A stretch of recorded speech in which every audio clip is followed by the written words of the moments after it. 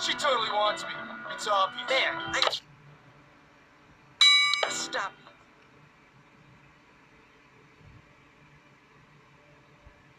So, Jimmy boy, here we are, the hole. The place where this school separates the men from the boys. The wheat from the chaff and all that nonsense. Okay, so what's that got to do with standing up to people, keeping them in line? This is where I stand up to you, my friend. What are you talking about? I know you hate me, Jimmy boy.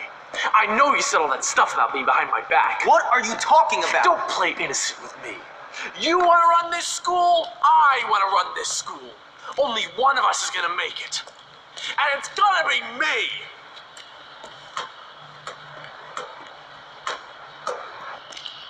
Ladies and gentlemen, boys and morons, I give you Russell! Oh, man. Me, Russell. Gary, now I hate you. I know, Russell.